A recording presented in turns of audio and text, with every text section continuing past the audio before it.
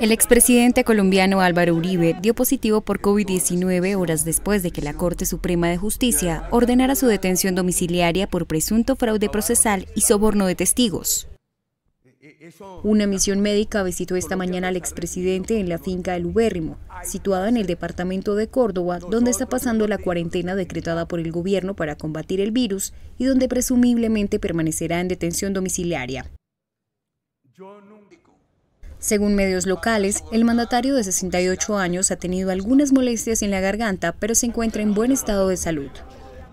La finca El Ubérrimo está ubicada en Montería, capital de Córdoba, una de las regiones más golpeadas por la pandemia en las últimas semanas. Según el Instituto Nacional de Salud en Montería, hay 4.688 casos positivos de coronavirus. En toda Colombia ya hay 334.979 contagiados y 11.315 decesos.